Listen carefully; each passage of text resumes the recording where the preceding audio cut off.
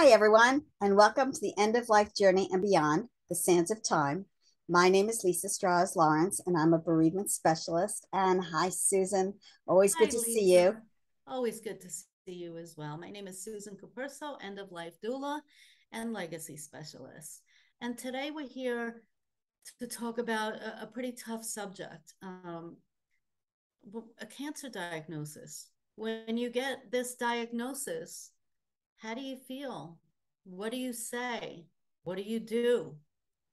These are things that we're clueless about because it, they've never happened to us before, right? So today we're offering a couple tips and some guidance and a little support in the coming what's to come, the coming days, the coming weeks, the coming months. Okay, and and Lisa's got quite a bit of experience in mm-hmm. this, so I'd like to. Unfortunately, you know, yesterday was the uh, breast cancer strides walk at mm-hmm. Jones Beach, and First. and um, the walk always has thousands of people. Um, and I've walked it before, and I've walked with this sign that shows, I believe, 16 of my friends who have had breast cancer. 16. Um, wow. And that's a huge number. It uh. Uh, only three have died from it and everyone else has survived uh, and gone through treatments and and sometimes it's really just uh, you know a, a, small tumor and it's gone and it's going to be radiation or it's going to be some other things um, but they're fine. They're all fine. It's it's really amazing how many people. And but then it doesn't matter because when you hear that diagnosis they all feel the same way. That's right. That's right? And then i have a friend who is diagnosed with lung cancer um, and so we're dealing with that. And my cousin had ovarian cancer, and that's two years ago already. And another friend also had ovarian cancer. So what's interesting about this is that years and years ago, the C word, that's what it was called, the C word, would never be discussed.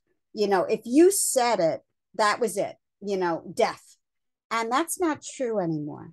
That obviously there are some cancers that are harder to treat than others. My husband died of pancreatic cancer. I knew that was one of the four worst cancers. I knew that.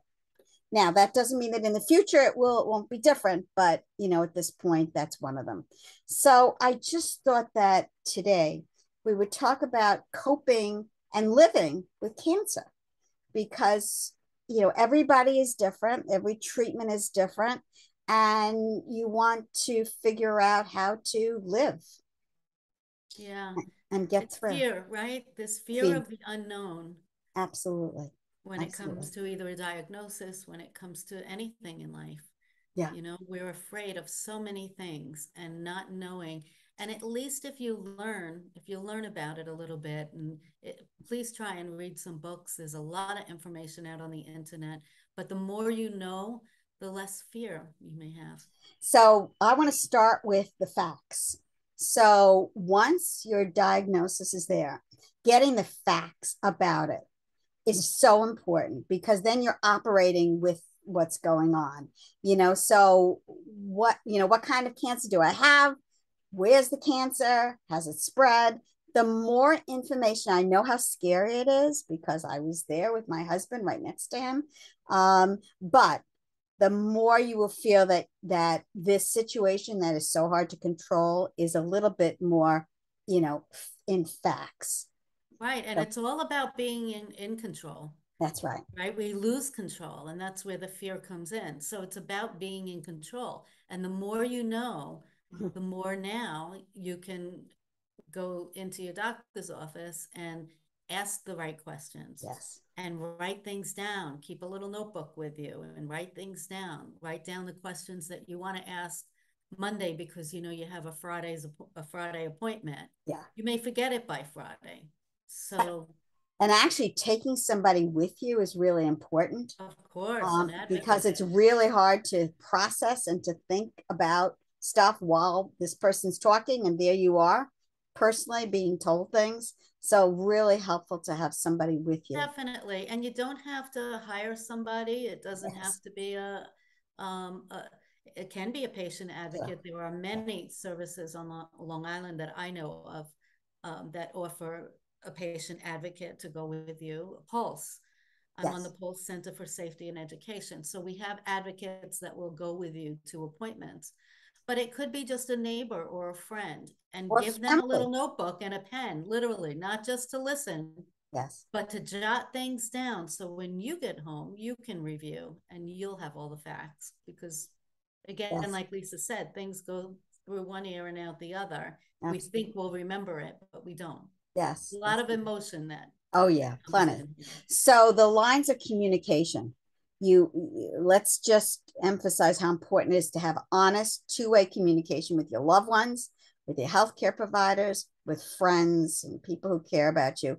Because believe me, you will feel more alone if you feel that they're not communicating or they're not there for you or they're even trying to protect you by not telling you things. And that's horrible because then you feel you know, hey, you know, what about me? Like, what's going on with me? So, showing real emotions that really supports people. And I know people think that's worse that way, but it is not.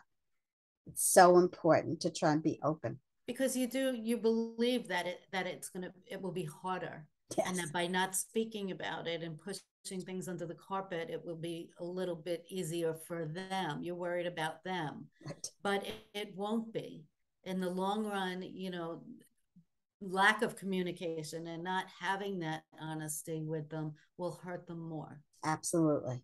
Let's talk a little bit of physical changes because uh, there may be physical changes from your body because of the cancer diagnosis or anything with treatment. And so you need to prepare a little bit and understand a little bit about what the consequences will be ask your healthcare provider what might change. Uh, medicines make you lose your hair or weight and things like that. It's really important that you get information and you get advice. There's a lot of advice about makeup and wigs and all kinds of other things. Um, and even insurance. Insurance might pay for things that you didn't even realize. So that's important as well. Um, and now just add joining a, a cancer support group. We talked about support groups last week. Cancer support groups at least make you feel like you're not alone and that members really understand and may even have tips. Oh, when I had this, I did this. And I'll give you an example. Um, I, in anticipation of some of the chemo of, of this friend, I sent a book called Nutrition uh, while while chemo or something like that. It's called, and it's a really good book because it deals with the different aspects of, um, of reactions of chemo, like when you're nauseous or diarrhea or things like that. And this actually gives suggestions on what to eat and what to make. And that was very helpful to me with my husband. Um, and so I thought that that might be a helpful thing what a well. great gift. That's a really great gift. Yeah. Yeah. Yeah. Um, and then a healthy lifestyle. If you can, choose the healthy diet, get enough rest, which is really hard when you're all upset like this. Um, you're trying to get the stress and fatigue of the cancer and its treatment as as less as possible, which is really hard to say. But I'm going to mention a book that I got from my husband during this. The mind and the body, you know, is like one to one. So I got this book called Fighting Cancer from Within. And it was all about the the emotional and mental outlook of your of how you react and how your body is and they say the more positive you are the more you're helping your body heal i believe that i really do believe that so exercising activities. Um all of that is really important for uh you know for the for the process. and meditation yeah. you know and if you don't meditate it's as simple as breathing in and breathing out. And sit quietly. Sit quietly for five minutes 10 minutes 20 if you can. A half hour is great. If you do have a phone and you can jump on youtube there's a ton of healing videos that you can meditate to. And they they're all not they may not all be for you but then in between you find a gem and you'll say you know i do that all the time and i find one and i listen to it for months and months because it really changes how you feel and your attitude and your yes. point of view Yes. So please try and do that because that will help as well. Yes, absolutely. So family and friends, they want to help. And what's hard for them is that they obviously feel helpless and they want to do as much as possible. So we encourage you, people who you know, to accept the help to um, because and it affects everyone differently. The whole family's affected. Um, and so um, accepting help like meals or chores or other things like that you know thank you. You do the same for them. So think in terms of how that's helpful to them as well you know in addition to you. Because it does help yes. your friends and family. It helps them feel like they're being helpful to you. Think about this. Think of somebody else a, a good friend down the road with that diagnosis. How do you feel? You want to help. You want to help and they tell you no there's nothing to do. There's mm-hmm. nothing you can do. And here you call your other friend down the other road and say but all i want to do is help. I, I wish i could do something more. Right. so if they're if you know if somebody wants to help if they're offering that help think of something. Think of something that they can do to help you yes. no matter how small it may be right. because they feel like they're being helpful to you. That's right. That's right. So let's go to goals and priorities. So this is the best time to figure out what's really important in your life. So find the time to do the activities that you, you know, that give you meaning that is special to you uh, look at the calendar, get rid of all the things that don't meet your goals. Sometimes we fill up things and they're really not that important. Uh, be open with your loved ones, share your thoughts and feelings with them because obviously it affects all the relationships. Um, and it obviously communication can help lower the anxiety and the fear that you know cancer causes. So that's really important. Um, and the lifestyle you know, keep your lifestyle, but you may have to be open to changing it. You have to take one day at a time. You can't, first of all, it's a, a roller coaster. And I know that for a fact, having gone through it. So, you know, the treatment might require some time away from work or home. Um, there's other, there's cost of medicine, medical devices. I mean, there's a lot going on here. Um, and so you really have to just, you know, um, organize and plan as best you can uh, but you also have to be flexible because so much is going to change. And let's go to finances next because it does change your finances. Um, you know, perhaps you're not able to work anymore, or perhaps, you know, there's disability. I mean, there's a lot of things going on. And that's also scary. Here you are trying to be healthy, and now you're worried about your work. And, you know, do I take time away from work? Um, you know, will my insurance pay for treatments? I mean, all this is very overwhelming very overwhelming. So sit with people who will help you sort this out. You do not have to do all of this alone. Certainly sit with family members or professionals who can plan things out for you as best you can. You know, even do you qualify for disability benefits? By the way, cancer is a diagnosis that you uh, are able to get disability for. And a lot of people don't realize that if you're unable to work. So that's no, important. I'm on the board of the National Aging in Place Council, the Nassau and Suffolk County chapter on Long Island. We are a national organization, but we're here, we're a resource group. So we have 80 members that are background checked and vetted, and we're here for seniors. We're here just for seniors that need some type of resource and don't know where to go or what to do. So if you contact the National Aging in Place Council, we get back to you and we'll find exactly what you need. And if we don't have that person on hand to help, we'll find them for you. And it's a great organization. I brought it up because one of um, our members that are on the board as well, um, Mike, he volunteers for the American Cancer Society. And at our meetings, once in a while, you know, he brings that up and he talks about some of the services that they offer. And there are a lot of services and a lot of support groups. And even at, at one time, it was before COVID. So I'm not sure about this particular time right now. We're, we're kind of after COVID. Uh, but they supplied wigs if you needed wigs at no cost. Um, they have a whole um, team of people that will give you a ride to the doctor if you if you have an appointment and you need a ride. So services like these are really, really important because some of you that may be listening don't have big families or have a lot of friends and don't know where to turn. So what I'm saying uh, is the vo- that the volunteers are out there. You have to research and and find them, find them to help. Yes, yes, very good. Um, also, obviously, support groups. Even I, as I said last week, I went to a cancer care support group for people who are caring for their loved ones with cancer. And that's also very helpful. So, helpful to the person to speak to other people, even if it's not a group, just speak to other people with the same diagnosis. You can find out a little bit more, and maybe there's some information that would be helpful, you know, in some way. I was on a list serve that was worldwide and people were saying about the different treatments that they were getting for pancreatic cancer. And that gave me more information and some advice about where to go next and what to do next.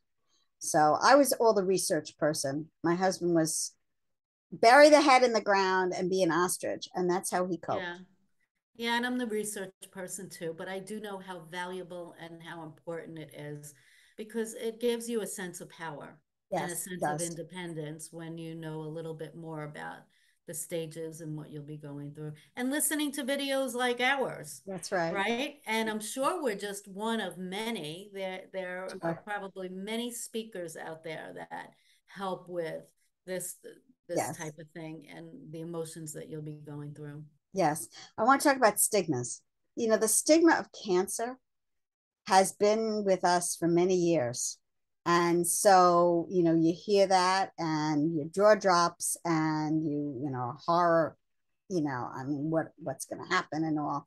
Um and so we have to fight some of those because life has changed and technology has changed and the medical community has changed. So um you know you have to avoid certain things um you know don't listen to all the people with you know certain ideas and stuff um, but answer them honestly. Um, you know, you'll figure out how to deal with other people and uh, they'll probably follow what you say.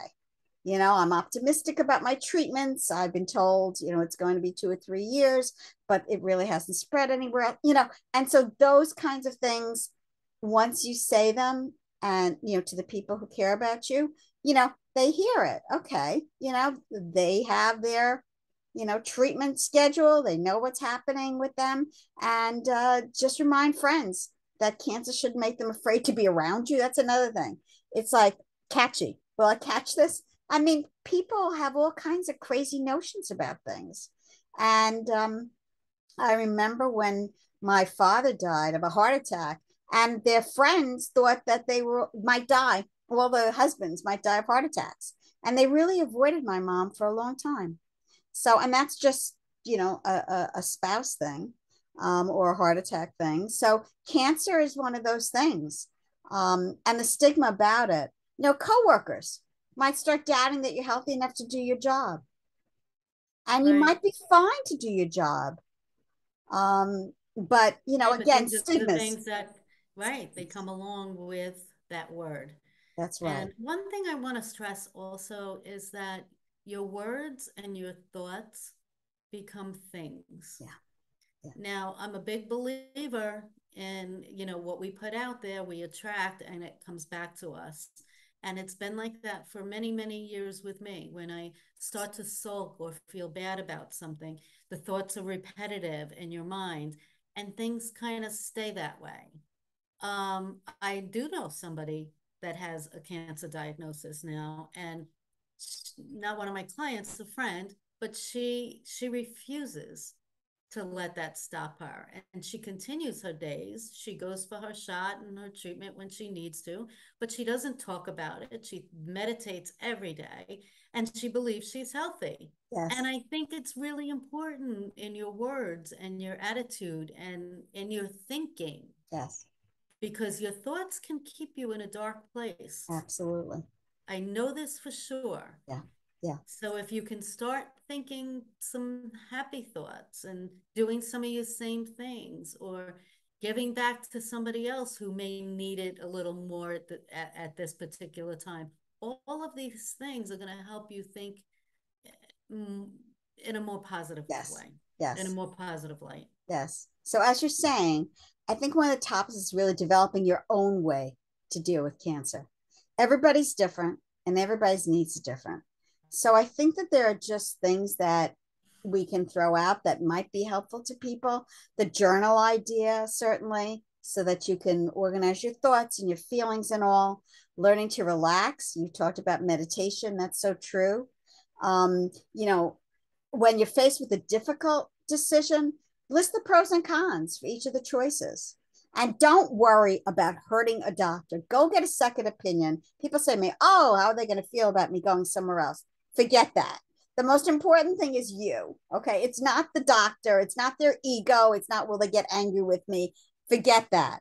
This is all about you right now and the best treatment for you and what you feel comfortable with. You know, hearing different. I mean, I went, we went to Cancer Treatment Centers in America because I wanted to hear a different kind of philosophy of medicine. And they did have a different philosophy. We went to Johns Hopkins. I wanted to hear on their pancreatic cancer day what they had to say. So be open for, you know, to, to hear other things and to always advocate for yourself. And if you're not able to, get someone who can you know obviously your family members want to do everything they can for you and this is a good opportunity for them to advocate for you as well. Um, remain involved with your work and leisure activities as much as you can.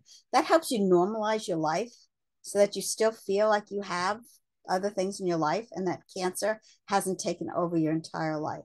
And that's not easy because there's you know all kinds of you know reactions and things like that. But if you can um, it will help you you know move and and continue your life. Um, and by the way be ready to say no. There are times where you know you can never say no to anything. This is actually a time to think only about you and focus on you. So no is okay. Don't feel guilty about it. You really have to think about what's right for you. Really important. Okay? and be gentle. And and listen if it's be gentle. If, yes and be gentle. And if it's and if religion spirituality is what helps you be, you know, go for it. Very important that you find the things that comfort you and that make you feel, you know, as strong as you can to get through this journey. And it really is a journey. I keep uh, the best for me was that it was like a roller coaster. There were times where it seemed like everything was fine.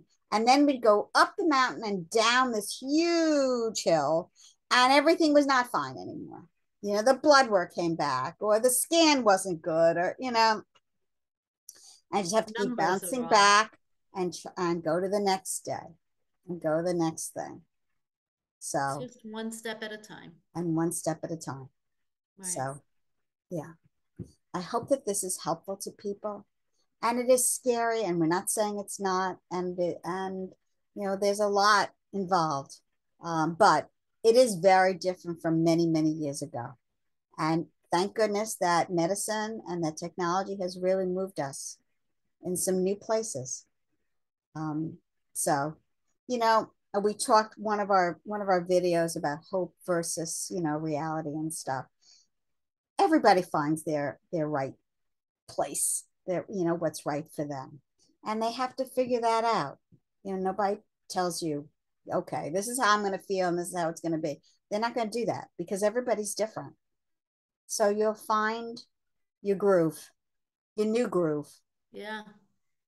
You yeah. know, and through these support groups too, you will even find like minded people yes. who yes. are going through the same thing you are. Yes. And it's really nice to have a friend like that that you can bounce things off of yes. back and forth.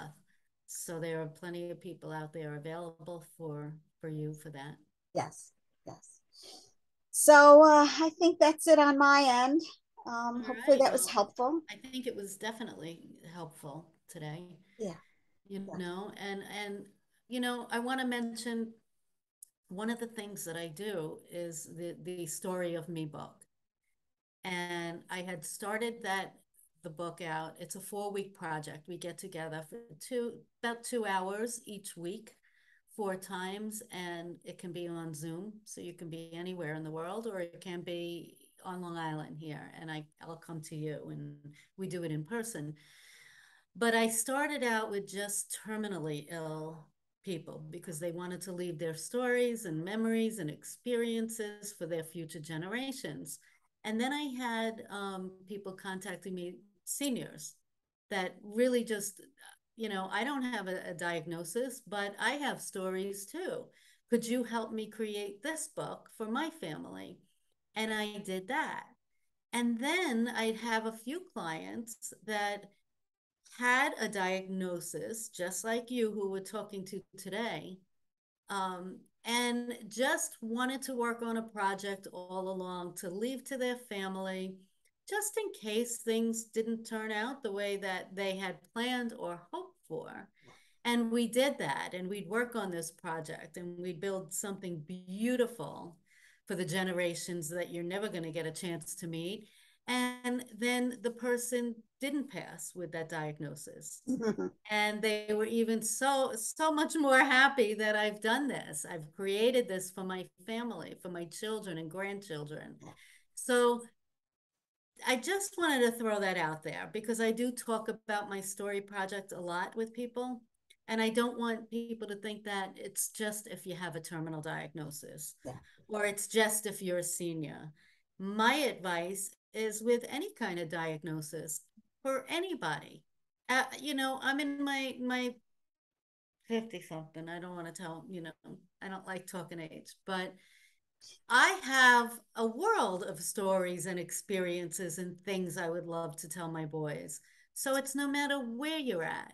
But for especially people that are putting some things in order and want to be a little more organized, it's something to think about.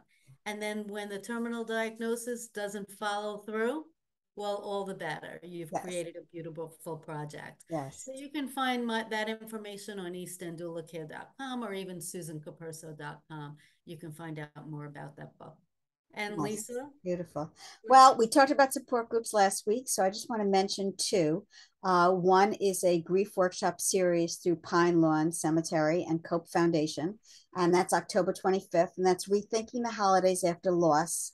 Uh, people have so much, so many challenges trying to deal with the holidays and um, making them a little happier. So we go through some exercises that will be helpful and activities, and it's virtual. So if you um, search Eventbrite, Rethinking the Holidays After Loss, you'd probably find it, or just call me at the phone number that's there or email me. And then I have a six week support group, which is really going to go through November and into December about going through the holidays and the process. And as a group as we said to be with other people who understand and have gone through things together and may come up with different ideas and tips um, and some work in between. So um, i'm really looking forward to that. That starts on november uh, 9th and goes through december 14th wonderful all right, Lisa. Well, right. I think that was it for today. And I can't wait to see you again next week. And one more thing anybody who comes up with a topic that they really, you know, that they want us to explore, please write it into our channel or email us or call us because we're really open. We've been doing this more than a year and a half now. We have 70 videos and we're always open to topics that are really about life and death and um, moving on moving forward with life. So, Sounds okay. Good. Have a good week. Right, Take care. See you next week. Thank yep. you. Okay. Bye. Bye.